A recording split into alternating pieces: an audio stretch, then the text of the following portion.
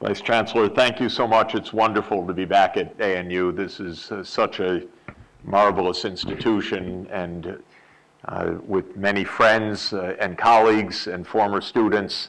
Uh, it's always a tremendous pleasure to be here. And I've been having an absolutely spectacular time in uh, Australia this whole week, meeting uh, many leaders, many fascinating people doing important uh, and, and wonderful things. And the government also gave me great entertainment this week. Uh, so uh, th this was uh, one of, I do fancy myself a bit of an expert on budgets, and I found this one fascinating. Uh, and this was unusual, and um, we're learning a lot about a lot of things this week. so I'm especially happy to be here.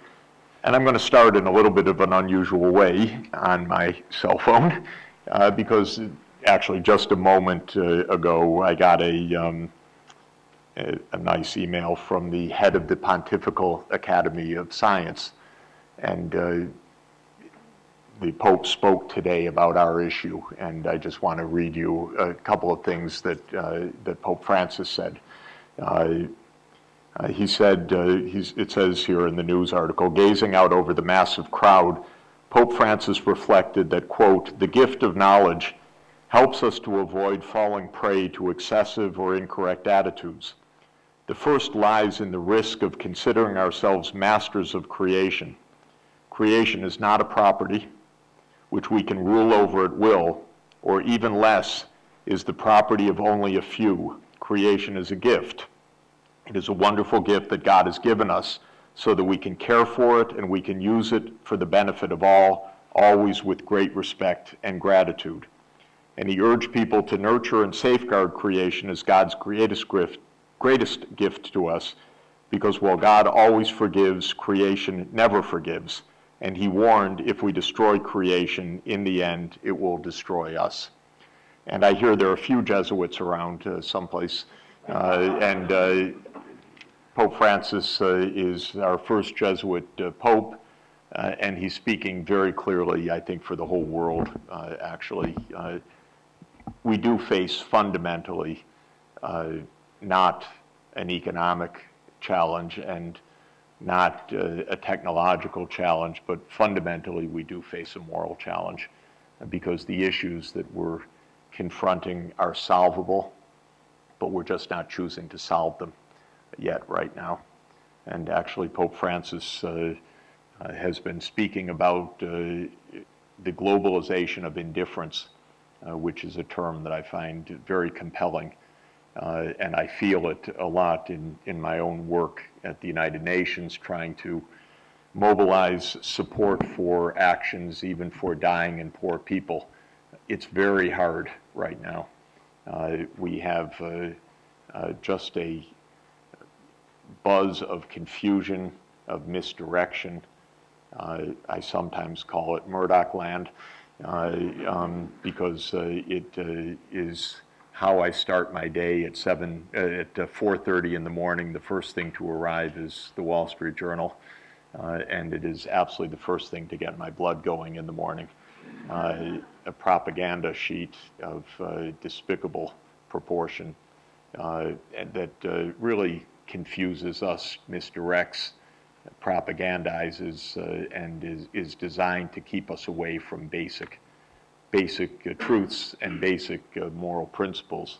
Um, and this is our big challenge to uh, stop being indifferent and understand uh, that we are threatening enormously our lives, our well-being, uh, and we're doing it because we're not working very hard collectively at finding practical solutions to our problems.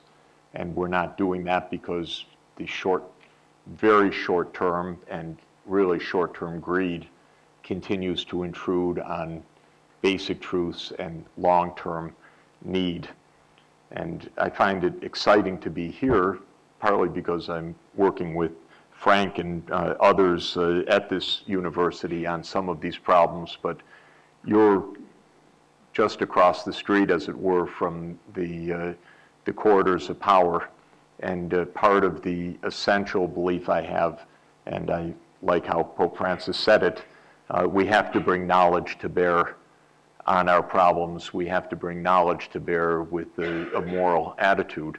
And if we do that, we will solve these problems. And so a university across from uh, the power centers uh, is just what we need, uh, actually, because we need to bring together the serious scientific knowledge with those who are responsible for the well-being of the country and make sure that we get on, on the right track.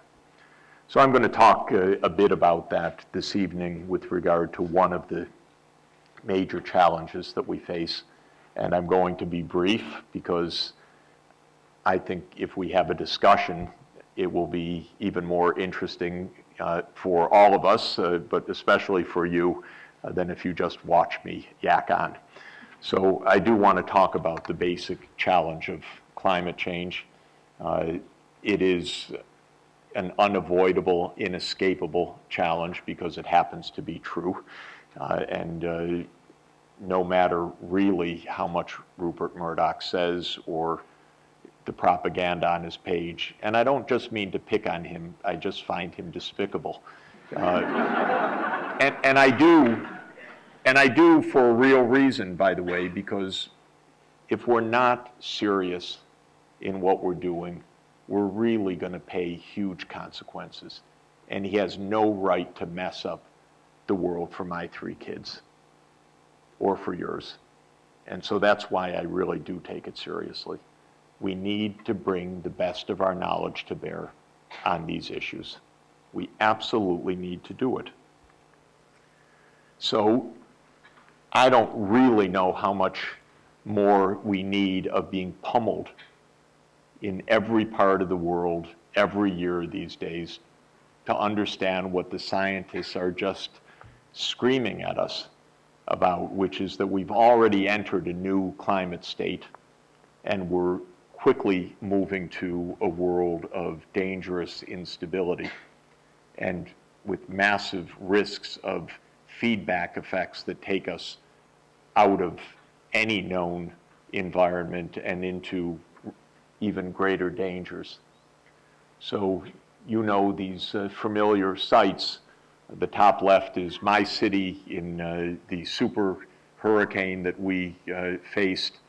The storm surge was unprecedented uh, on a century scale because the sea level rise on the northeast coast of the U.S. is already a third of a meter, and this changed the dynamics of the storm, led to massive flooding we learned as every one of these shocks teaches us how unprepared we are as well.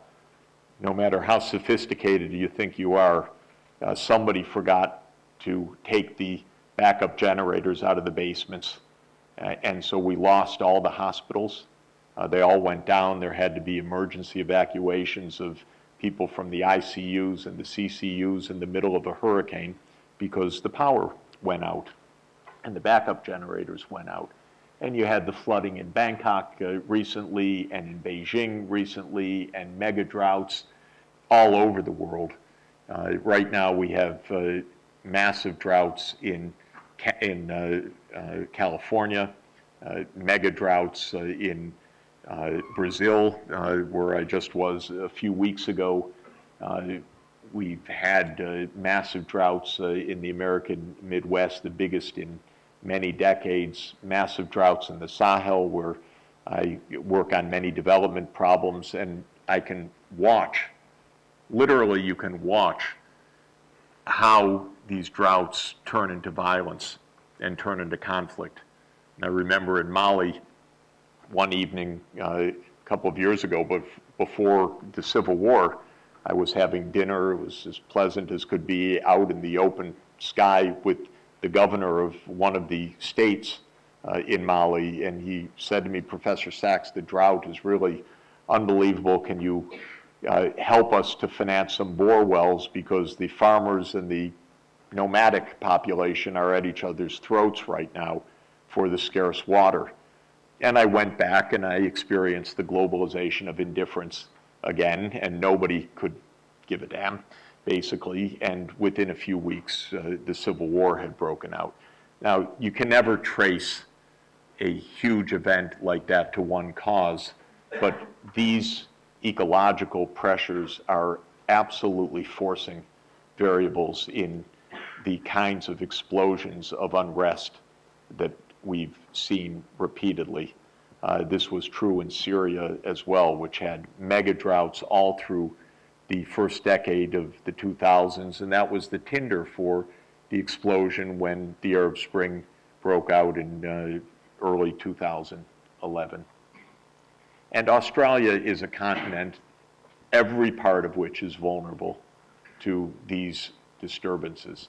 Uh, it's amazing because this, this incredible and unique set of ecosystems, and they're all in the line of fire, as it were.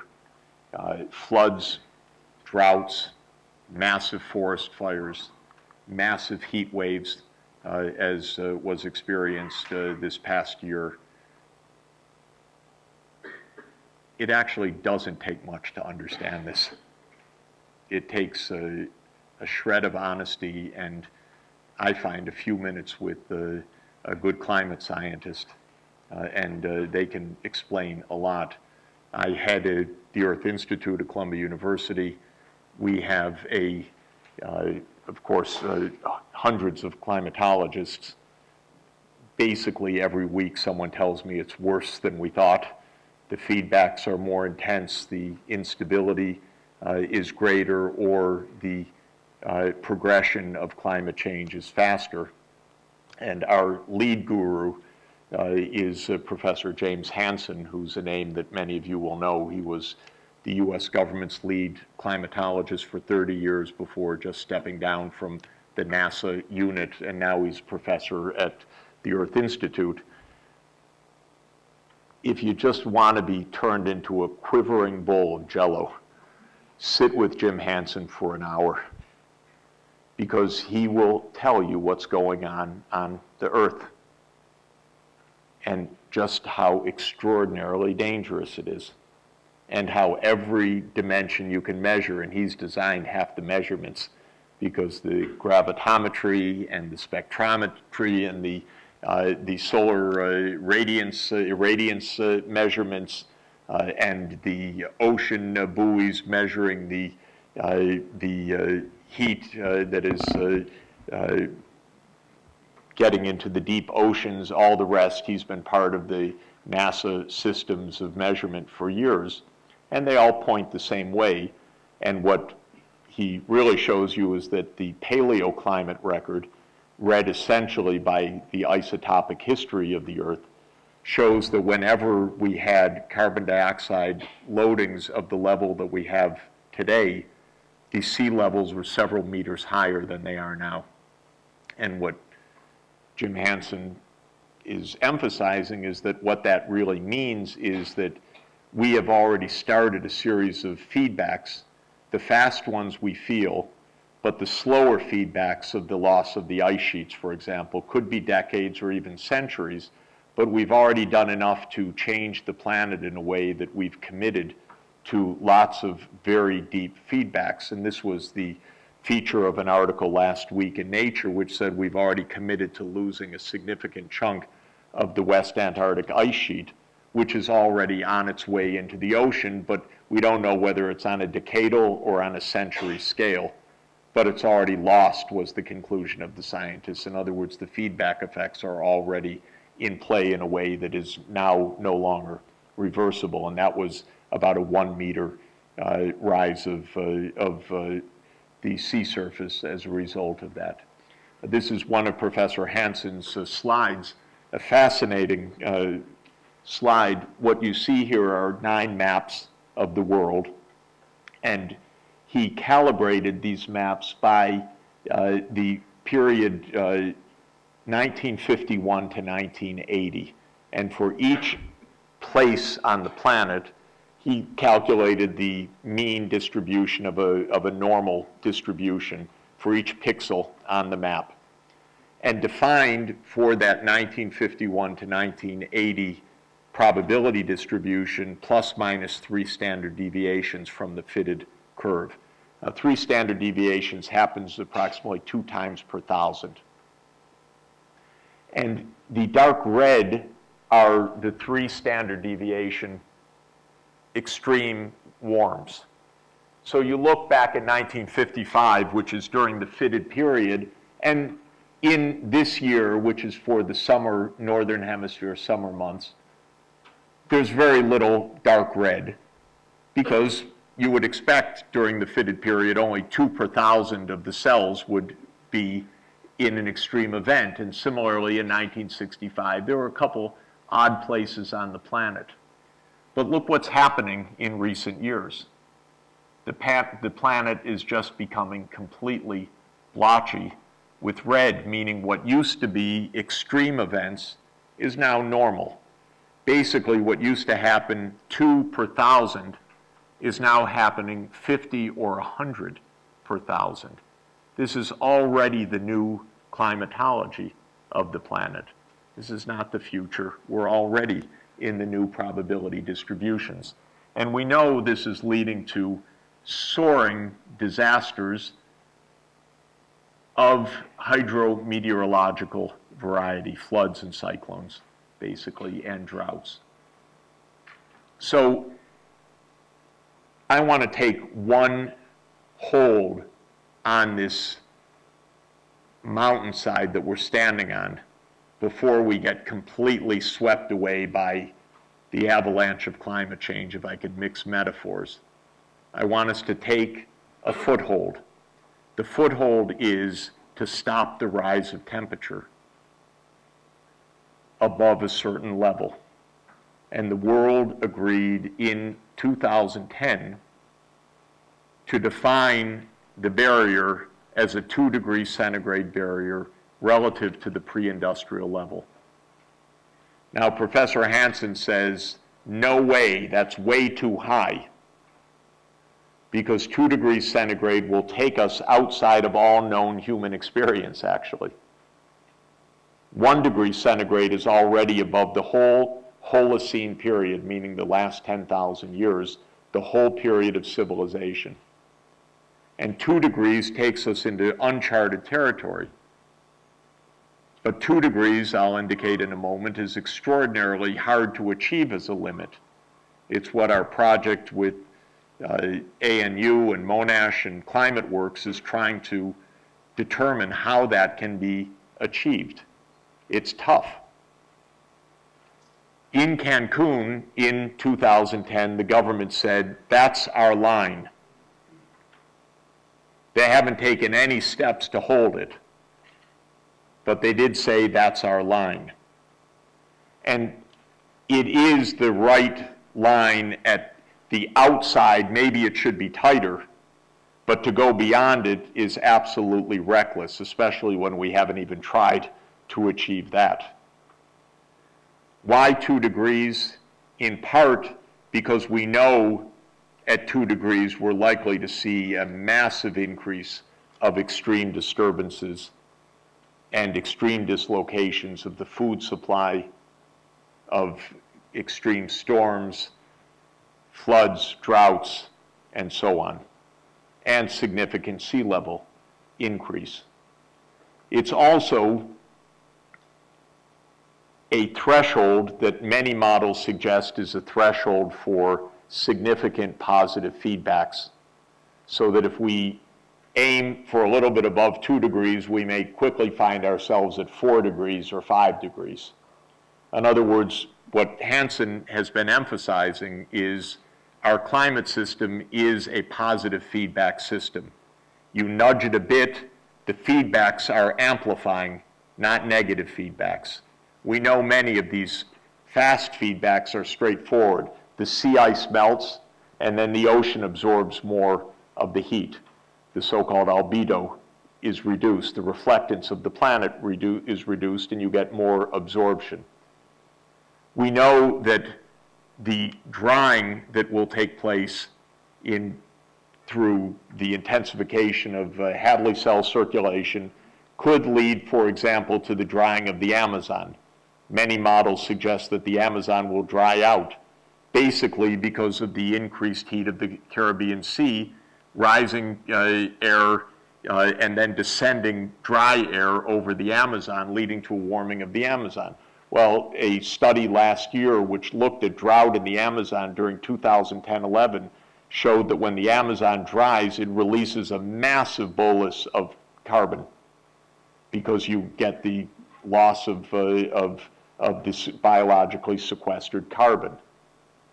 We have good reason to believe, and I saw a movie of it a couple of weeks ago actually at the Vatican, shown by one of the world's leading climatologists, Professor Schellnhuber, that the methane is bubbling under the uh, tundra level, and you can actually observe it and film it.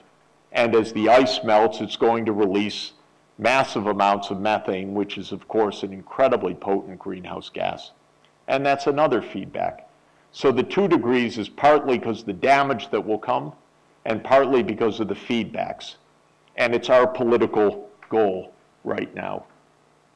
And as this slide suggests, and I'll leave the, the presentation with you, Professor Hansen says, no way, two degrees is far too much.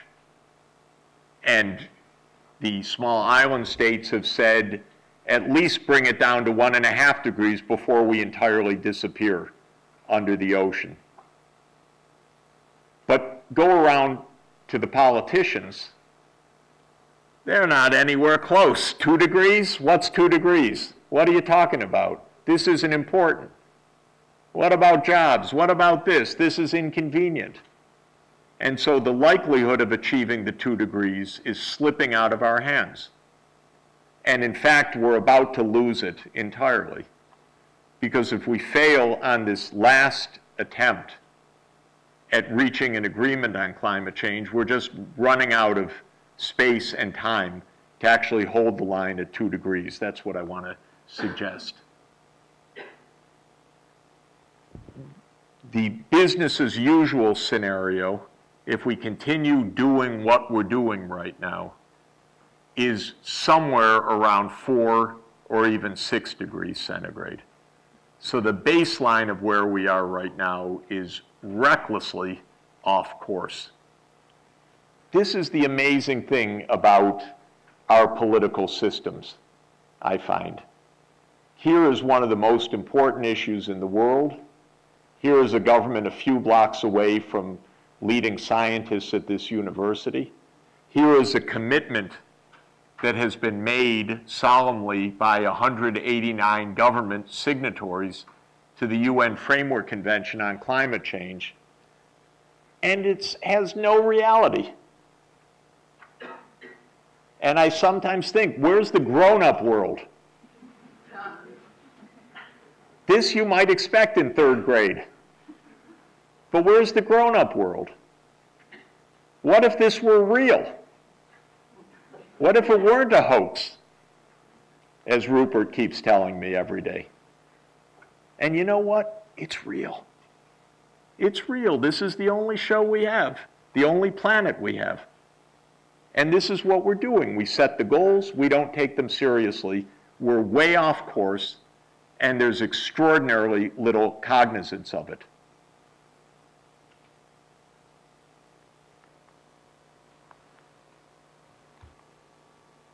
Okay, so I want us to do what I would consider really the grown up thing, but this is an insult to young people who are much more grown up than grown ups. I want us to take seriously the science, the commitment, and the implications of it. And I want us to ask ourselves what would it mean to actually achieve the goal? And I want our governments to do homework. They hate homework. More than anything, our governments hate arithmetic. They hate adding up things. But here, we really need to do the homework to ask the question, if we are to meet this goal, what would it imply? And the basic idea is in a way straightforward because the climatology is at least adequately straightforward for our purposes. And that is if you set a threshold temperature, you also have a carbon budget that goes along with it. Basically, there is a path of CO2 emissions conditioned by the other greenhouse gases, nitrous oxide, methane, and the fluorocarbons, that says how much CO2 can be emitted consistent with that carbon, with that temperature limit. And so that's a carbon budget. And we know a lot about carbon emissions because our whole world energy system is based on carbon. And so we can ask what this means for the use of coal, oil, and gas, and what it implies for how an energy system worldwide has to be restructured to be consistent with the carbon budget. That's what it means to take 2 degrees centigrade seriously. And then one can ask what options there are. What kind of energy systems? What do we know? What are the obstacles? What's promising? And so forth. So 2 degrees implies a certain amount of CO2 that can be released into the air. That sets either a limit on total burning of fossil fuels or on burning of fossil fuels net of carbon capture and sequestration the famous CCS option, which has been talked about for a couple of decades but never properly tested and still unknown in its implications for scale. And that's what we need to figure out. So the basic arithmetic is roughly the following. The basic arithmetic is that the two degree centigrade limit means a cumulative carbon combustion of about 1,000 billion tons C. Or in terms of carbon dioxide, which is 44 twelfths the atomic weight of C, about 3.6 trillion tons of carbon dioxide cumulative emission. We have already burned a certain amount little more than half of the total allowable. And we've already filled up the atmosphere with non-carbon dioxide greenhouse gases, which take up a bit more of this carbon budget. And what it leaves us with, according to the most recent IPCC calculations, the ones that are on the RCP 2.6 concentration pathway, so-called, is about 275 billion tons of carbon left that can be burned and still have a two-thirds probability of remaining below the 2 degrees centigrade threshold. We have a number. We have a range of uncertainty. But basically, we have something around 275 billion tons of carbon that still could be burned cumulatively and have a likely chance in the jargon of remaining below two degrees, but still one third chance of exceeding it. Now, here's the problem. We're emitting already 10 billion tons carbon every year at this point, or 36 billion tons of CO2. So if you have 275 billion tons budget and you're emitting 10 each year, that's 28 years left. That's it for all the emissions. And if you figure that the world economy wants to keep growing, it's obviously less than 28 years. Our backs are to the wall.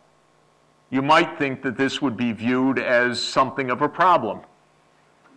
Maybe we'd talk about it. Maybe we'd actually have a strategy. What might we do for the sake of creation? But we don't have a strategy yet. To this day, we don't have a strategy. Australia doesn't have a strategy. The United States doesn't have a strategy. China doesn't have a strategy. Canada doesn't have a strategy. And we're right at the end of the limit of this. It's amazing to me. I can't really figure it out deeply. How we can get ourselves into this situation and how we can't be a little bit more concerned to find our way out. So essentially, this figure says where we are, where we're likely to go, and where we ought to be going. On the vertical axis is billions of tons of carbon per year, again multiplied by 3.667 if you want to get it to CO2. We're at 10 billion tons right now. The business as usual path is this one, RCP 8.5, the reference concentration pathway that shows basically very little emissions control. A good time had by all. And it's essentially a four to six degree centigrade increase by the end of the century. And the path that we want to be on is something like this one, which is the two degree centigrade reference pathway. And what it shows is quite striking. Not only do we have to peak and start coming down, two more points. By mid-century, we have to be at less than half of our current level. In carbon dioxide terms, we have to go from about 36 billion tons of CO2 emissions down to something like 15 billion tons. We have to do that in a growing world economy. And I want the world economy to grow. That's my other job.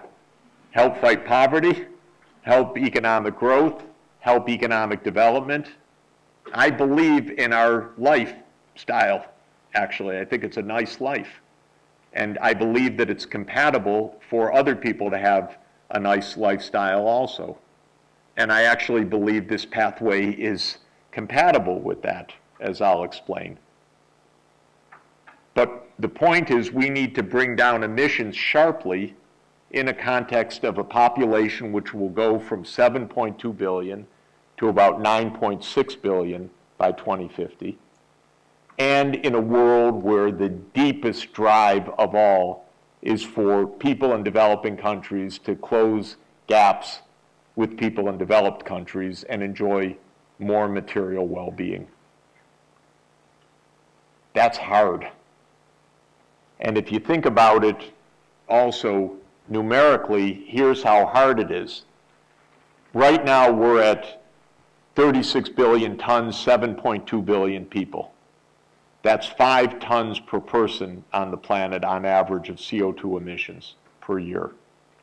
In 2050, 15 billion tons for 9.6 billion people, that's 1.6 tons per person, one third with a much higher average living standard. Australia is at about 17 and a half tons per capita. But admittedly, as I've been puzzled and I haven't gotten this nailed down, the international data show about 17 and a half tons and the national data show more than 20 tons, and I'm not sure what the definitional differences are entirely, so I want to just uh, flag that. But the international data from PBL or from the International Energy Agency put Australia's emissions at 17 and a half tons per capita. The United States emissions are slightly below that now at about 17 tons per capita. Australia is actually the number one emitting country in the whole world in per capita terms for a country larger than a little oil state. The little oil states are higher, but for a country of above a couple million people, you're at top of the list. And what the global budget constraint says is that the budget constraint is to be at about a tenth of that level by the middle of the century. And same for the United States. Europe is somewhere around between 8 and 10 tons per capita. China now, which is by far the world's largest emitting economy, is at about 8 uh, tons per capita also, quite high because it's a middle income country, but massive uh, energy emitter because it's so industrial and moderately inefficient in the energy mix, but hugely industrial, uh, and therefore uh, a very, very heavy energy user. So the trick of two degrees, taking it seriously, is to get onto this pathway. All right, what does that actually mean? Well, one thing it means is that either carbon capture and sequestration works at a massive scale, or the majority of the proved fossil fuel reserves have to be left underground. Because if we can emit about 1 billion tons, 1 trillion tons of CO2 left, the amount of CO2 in proven reserves of coal, oil, and gas is more than 3 trillion tons. And if you add in the resource base that's not yet proved reserves of unconventional oil and gas, it's probably 6 or even 8 trillion tons of CO2. And so we have more than enough fossil fuel now to wreck the world two or three times over. What are our companies doing? Spending hundreds of billions of dollars to discover more. Something's not right with that market signal. What are they doing with all of that exploration? It's unsafe to use. We have enough. We have more than enough. We don't need more. Of course, the only way that it would be safe to use all of this is if massive carbon capture and sequestration were feasible. That does not help to account for the fact that this government has slashed the CCS budget this week. This is just the kind of disconnect which is so fundamental that it makes absolutely no sense whatsoever. It's amateur hour at a time when we actually need something more serious. Australia is not alone. This is how governance is right now in most of the world. Our political systems hate this problem. It's a completely wrong problem for politicians, by the way. First, you have to know something. Second, it's a problem on the scale of decades, which is of no interest to politicians. Third, it's complicated. Fourth, it's global. Fifth, it's filled with uncertainties. It's the worst political problem you can imagine. I would love to find a way that politicians didn't have to touch this problem, but that it could actually be handled systematically, professionally, by scientists, engineers, and society at large saying, save us and save the creation. Because this is too hard for politicians, actually. And that's one of our biggest problems. And yet, that's who we were in their, uh, we're in their custodian, custodial care right now. This is Australia's emissions. Doesn't look like that curve of uh, tipping down uh, with uh, any, uh, any, any confidence. So what do we do? Actually, I'm going to dispense with the details of the PowerPoint and just quickly come to the bottom line. Every study has shown that if you want to decarbonize an economy and still have the economy function at a high level, you have to do three basic things. One is you have to produce electricity in a low carbon way. Second, we're going to have to shift from the internal combustion engine to electric or equivalent vehicles because the transport sector accounts for a huge proportion of emissions. So we have to get out of internal combustion engines. You can't capture carbon at the tailpipe of an internal combustion vehicle. You have to have a different kind of vehicle. And third, we need huge energy efficiency. Which is possible in the building sector, it's possible in the transport sector, it's possible in several industrial sectors. And so I like to say that we have low carbon electricity, we have uh, fuel switching or electrification, and we have energy efficiency. On top of that, we have to get the land use policies reversed from net deforestation to net afforestation and reforestation. And we have to uh, have a carbon biological sink this century, something on the order of about 100 billion tons C net sequestered biologically, or about 300 billion tons CO2. So you, you, we have to do the proper land use alongside the decarbonization of the energy system. So how do you get a low carbon energy uh, system, a low carbon uh, electricity uh, generation system? I think our options up to 2050 are pretty well known now. Maybe after 2050, fusion or something else will come online. But what we know now is probably going to be what's put in place substantially between now and then. And we know that that's renewable energy, wind and solar. We know that it's hydropower. We know that it could be nuclear power. And we know that it could be carbon capture and sequestration. There aren't too many other scaled solutions to this. I'm in favor of all of them. I'm in favor of nuclear as a major part of the solution, and I'm in favor of testing carbon capture and sequestration with the urgency to see what kind of scaled approach it can play. And of course, I'm in favor of learning how to make a power grid work on intermittent renewable wind and solar power, of which this country has vast, vast, vast resources. And this country may be one of the very few where biofuels could also play a role at scale. That is not true globally because land scarcity, water scarcity, ecosystem stress is so great that a big biofuel solution doesn't make sense. But what does make sense is filling deserts with solar arrays and collecting a lot of uh, solar radiation and collecting a lot of wind power.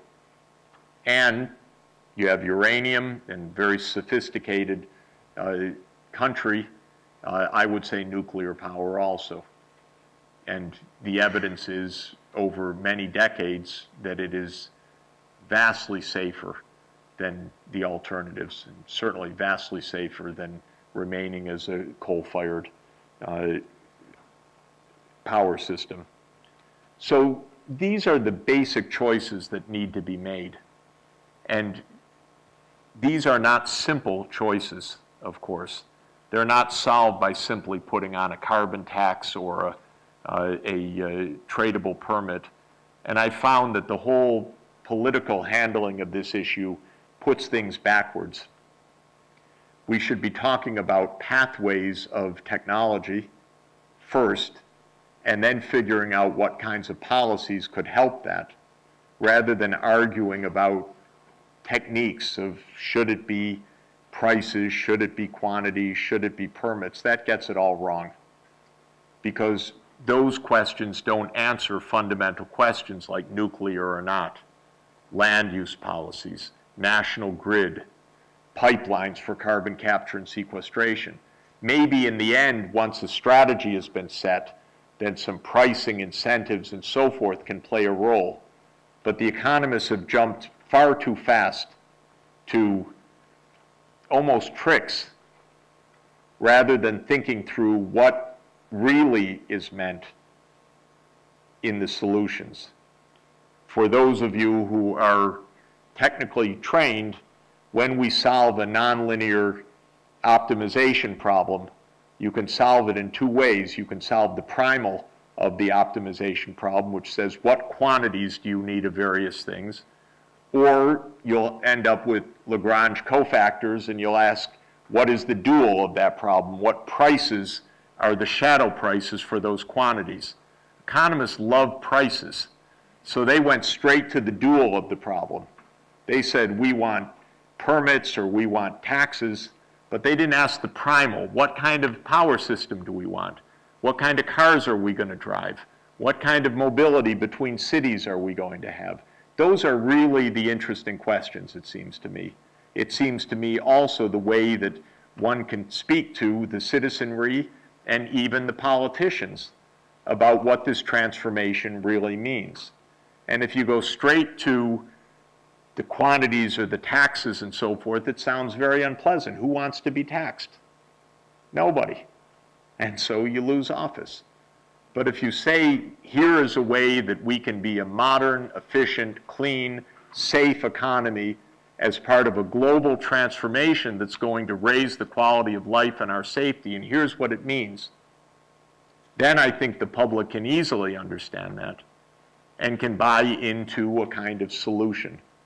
So this is why I like to think of this as solutions pathways.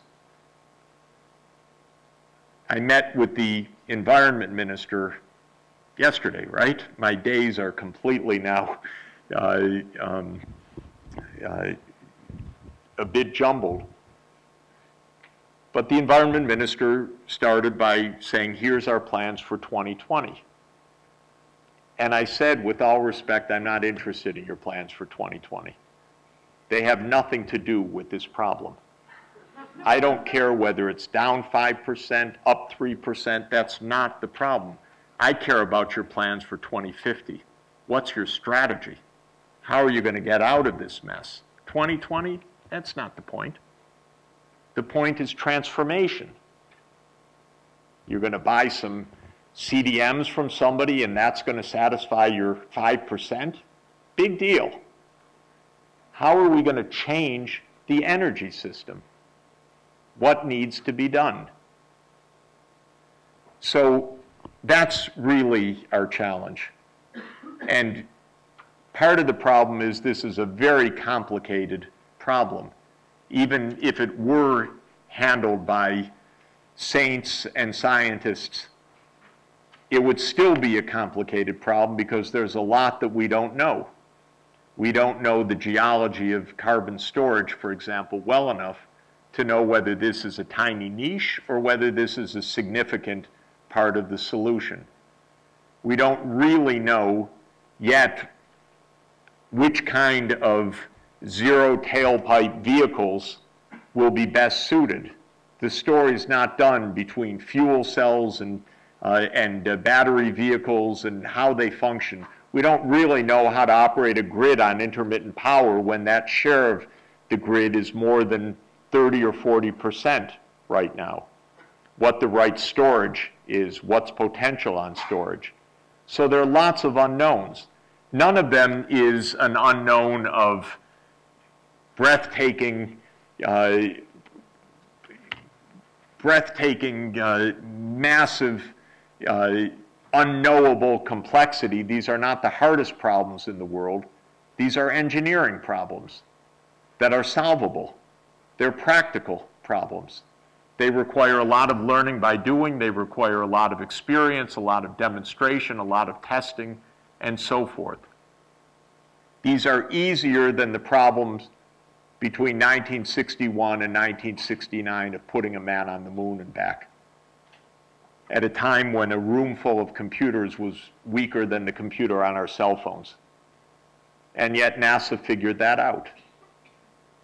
President Kennedy said, this is a good idea. We're going to do this. The public was inspired, bought into it, a timeline was given, a huge amount of money was spent, and a wonderful result came out. And that's what we need to do now. We need actually to invest in this in a way that's serious. So we know the broad outlines. We know the kinds of choices that need to be made. Different countries will make different choices. Some will choose nuclear, others not. Some have massive amounts of sunshine. Some have very little sunshine. Some have huge amounts of wind. Others are basically quiescent. Some have tremendous hydropower unexploited. Others have almost no usable hydropower. So these are the choices that country by country need to be made. But we all should be able to share the basic framework that we have to get down within the carbon budget. We have to avoid the dangerous spirals and pathways. We have to solve the major technological problems. And just to conclude, we have to do this within 19 months. We have to reach an agreement on this in Paris 2015. We promised ourselves five years, that's our rendezvous. I can tell you, oddly enough, it's the only month in the next astrological cycle of the next 67,000 years when it fits American politics. Uh, why? Because we have a lame duck president. He's not running for reelection. It's an off election year, thanks God. It's just after an election, not before an election. It's before, just the month before the presidential elections start. So he can just kind of slip into Paris and out again and sign something. and that's what we have to do. Don't miss this opportunity. America is such a weird place. It, really, this comes around only once every several generations. We don't usually have the seventh year of an administration, just at the moment we need a solution. And so this is the time when we have to reach an agreement. And I'm hoping that some combination of that reality, the obvious pressures that the world is facing, the near asphyxiation of residents of Beijing and elsewhere in China that can't breathe their air anymore because of the coal pollution, the advances of technology in many different spheres will lead us to save ourselves. Thank you very much.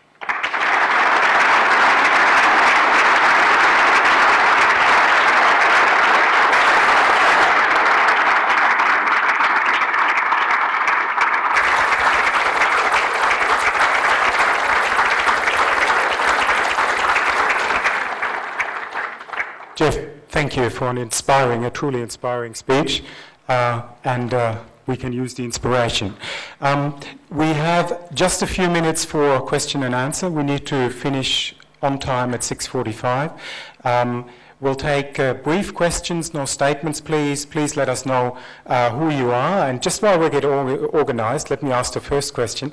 Jeff, in one of your talks, your several talks in Melbourne yesterday, uh, you said that the solution uh, to an ambitious global climate change mitigation outcome lies in the hands of just a small number of countries and that Australia will be one of them.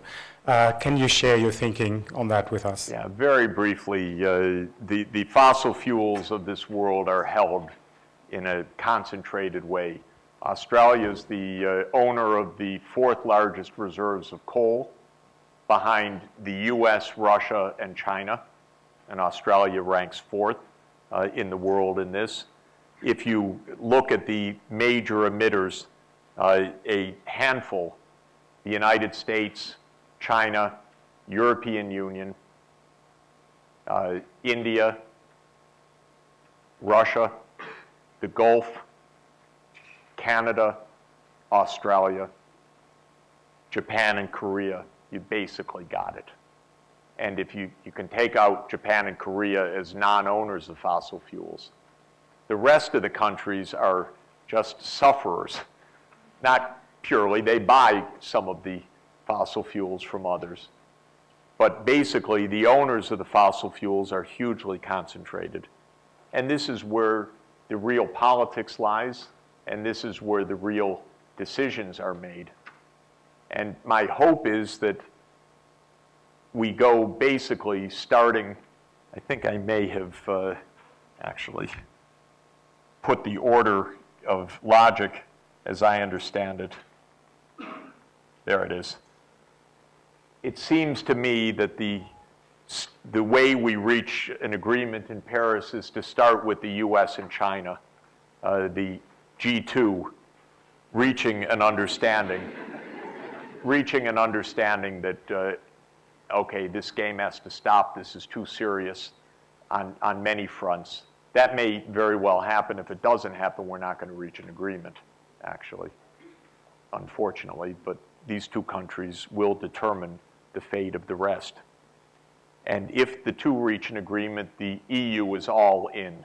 There's no mystery about EU politics. Why? Because they don't have fossil fuel, basically, and because they're hugely vulnerable to climate change. So that's the combination which makes them very interested in this.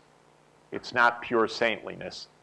It's what you own under the ground, which determines how this stuff works. And then once the EU, China, and EU are in, Australia and Canada, you're going to be pulled in. It's just the way it's going to be. You're going to have to be part of this story. Okay, that has almost all of Murdoch land in it. Uh, then, then comes uh, the GCC, uh, the Gulf states. They have obviously uh, about 70% of the conventional hydrocarbon reserves. That's not a small part of the story. There's a lot that can be said, but I can bet that if you get the first group in, they have to be in for security reasons and for geopolitical, geopolitical reasons. India is tougher because India has all, always said, uh, we're too poor, don't bother us right now, we have too much development to do. But I actually think that uh, Prime Minister Modi will come forward, not at the top of the list, but probably at about this point. Russia, that's tough. Uh, who wants to negotiate with Russia? Raise your hand. Um, okay, I don't, but anyway, uh, they, they have to be there. And then comes the rest of the world and the means of implementation and sharing this. So I actually think there is a political pathway to reaching an agreement by a year from, uh, a year from December. My name is Paul Burke from the ANU. Professor Sachs, thank you for your talk. Your talk, if I may, had quite a strong central planning focus to it. Yes. Whereas, as you mentioned, most economists would suggest putting prices in place and then letting the market sort out the pathway to a lower emissions future. I wonder if you could just comment on your, the relative importance of central planning and the market. Thank yeah. you. I'm, uh, I believe in uh, planning uh, a lot. Uh, I don't believe in central planning in the Soviet style, but I do believe in technology pathways uh, and uh, planning for technological change. It seems to me energy systems are so deeply embedded in a public space in terms of issues like public tolerance of different kinds of energy systems, liability, land use, complementary public uh, uh, investments in grids and so forth, and free markets in knowledge actually don't work at all. Uh, they are not, not at all, but we know that technology uh, is produced by a complex innovation system of both public and private institutions. And we know how short the time we have for this, that I believe we have to direct the technological change pretty dramatically. So I would like, for example, and this is what I recommended to the foreign minister, I would like Australia to pull together, in this case, Canada, India, China, the United States, and say, we got to figure out CCS. Our country's future is heavily influenced by whether this is real or whether it's baloney. And so we need 10 years of absolutely focused, massive research development and demonstration projects. That's not going to happen by putting 50 bucks a ton on CO2. That's got to be a marriage of geology, engineering, and the major companies of the world like BHP Billiton and others. And it's got to be all of the major coal-using countries, maybe the Gulf as well, to say we're going to test this out and we're really going to map these fields and we're going to measure whether CO2 porosity is uh, adequate and whether there are enough storage sites in China to make a difference. That's not a matter of a 50 buck price. That's a matter of a massive research activity. If you had put a $10 billion or $50 billion price on going to the moon before the end of the decade, it would not have happened in the 1960s. It required NASA. And to use a, a different, maybe an example you won't like, uh, the Manhattan Project also was not a market project. It was get the world's best physicists together, put them in Los Alamos, and tell them to solve a problem. This problem's somewhere in between. Uh, it's not that for sure, but it's also not a free market problem. Uh, and it requires very directed change. And our, I, am not against, uh, of course, uh, countries are going to choose different options. I'm in favor of carbon pricing and other things. I just regard those as tools at the end of the day, not as the beginning of the, as the, beginning of the story. And I think that there are such major R&D issues for mass commercialization, and I've mentioned them, that I see these kinds of R&D initiatives at large public-private scale as being something that's going to move us to where we need to go. Maybe in 10 years it becomes market-based because the technologies are proven and we're on our way and countries are ramping it up and then the markets, let the markets do it all. But we would never have had the internet, we would never have had semiconductors, we would never have had uh, computer uh, age, we would never have had almost any technology breakthrough, even hydrofracking we wouldn't have had, had it not been for government as at the very early stages of these pre-commercial technologies. And we won't solve the problems unless collectively we decide, is Australia going to have nuclear power? That's not a matter of 50 bucks a ton. That's a matter of a public policy choice. And the public will want to know what are all our options?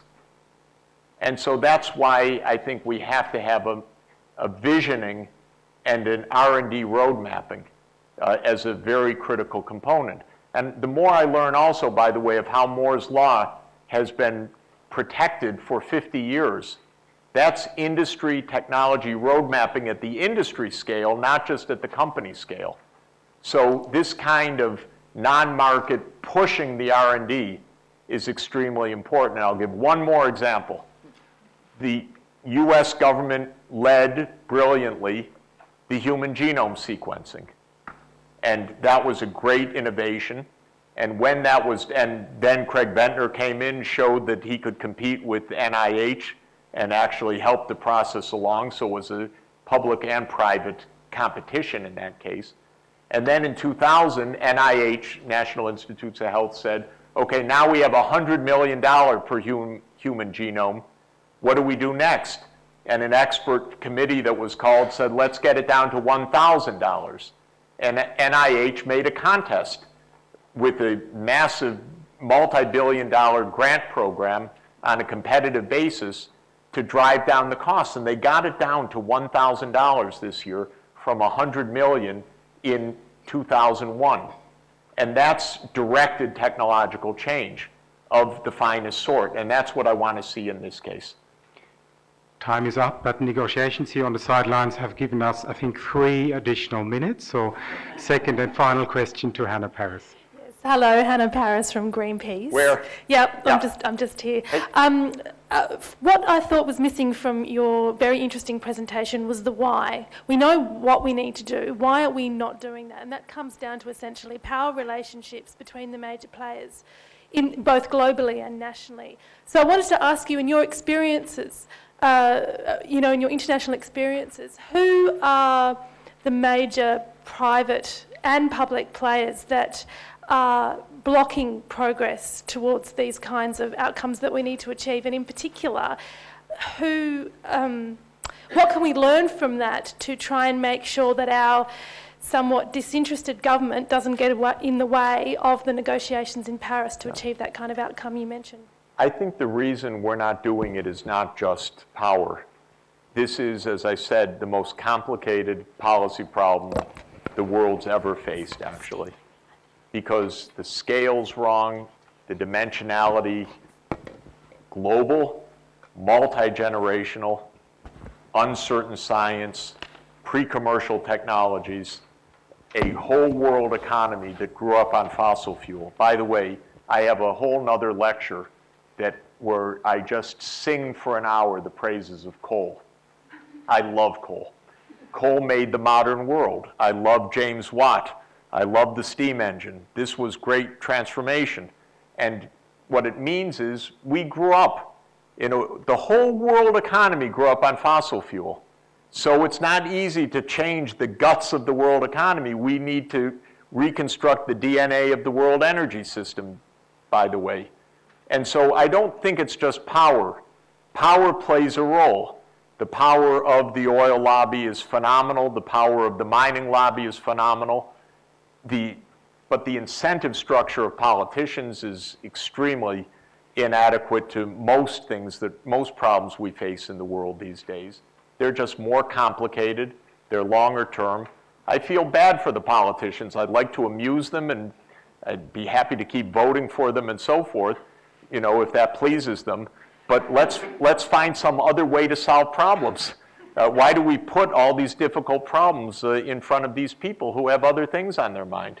So we need, and that's really what I have in mind with our projects and with this SDSN network. We need an era of knowledge-led policy. We need the universities to play a much more proactive role than they're used to playing. We need the universities not to be pure research centers and education centers, but problem-solving institutions that say, you don't know how to get carbon down in this country? Here is our solution. And because the politicians can't do it. They, they really can't, literally. The best knowledge is here. And so this is the kind of change that I think is also really important. This is just a tough, tough problem. And power is part of it, and, and uh, Rupert is part of it, uh, and, uh, and the complexity is part of it, and the time is short, and I think we're still going to make it. Thank you very much.